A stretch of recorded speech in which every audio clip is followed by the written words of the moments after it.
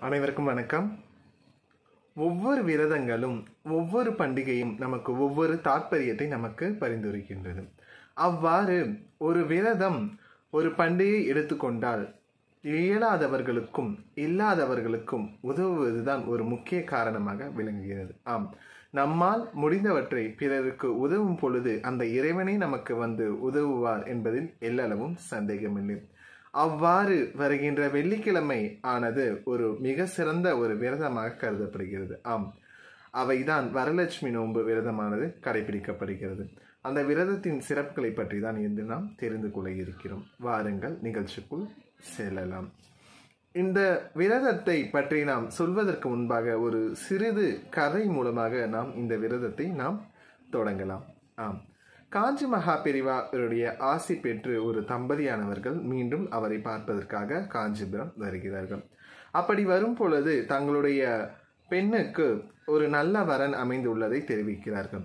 அதை தெரிவித்துவிட்டு காமாட்சி அம்மனுக்கு நன்றி செலுத்தும் விதமாக அவர்கள் காமாட்சி அம்மனுக்கு பட்டுப்புடவை அது போன்ற மங்களகரமான பல பொருட்களை அவர்கள் கொடுக்க வருகின்றனர்.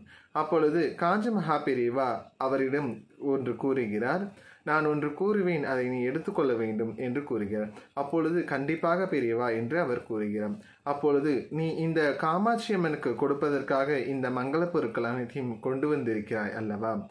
இந்த பொருட்களை ஒரு ஏழை பெண் அவளுடைய திருமணத்திற்காக காத்து கொண்டிருக்கிறான். இந்த பொருட்களை நீ அனைத்தையும் அவளுக்கு கொடுத்தால் அவளுடைய திருமணமானது சீரும் சிறப்புமாக நடைபெறும் என்று கூறுகிறார்கள். அவருக்கு சிறிது ஒரு தயக்கம். என்ன பெரியவா இப்படி கூறுகிறாரே? நாம் காமாட்சி அம்மனுக்கு தானே இந்த பொருட்கள் அனைத்தையும் நாம் கொண்டு வந்தோம். பட்டுப்புடவையும் சிறிது பணமும் தங்க நகையும் அனைத்தும் நம் காமாட்சி அம்மனுக்கு தானே கொண்டு வந்தோம் பெரியவா இப்படி கூறுகிறாய் என்று ஒரு தயக்கம். நாம் காமாட்சி அம்மனுக்கு கொடுப்பதா அல்லது அந்த ஏழை பெண்ணுக்கு கொடுப்பதா என்று ஒரு தயக்கம். உடனே காஞ்சி மகா பெரியவா அந்த ஏழை பெண்ணை அழைத்து உன்னுடைய பெயரை கூறு அம்மா என்று சொல்கிறார். அப்பொழுது அந்த ஏழை பெண்ணானவள் என்னுடைய பெயர் காமாட்சி என்று கூறுகிறார். என்ன ஒரு ஆச்சரியம்! அந்த பக்தர்கள் அங்கு கூடியிருந்த அனைவருக்கும் ஒரே ஆச்சரியமானது.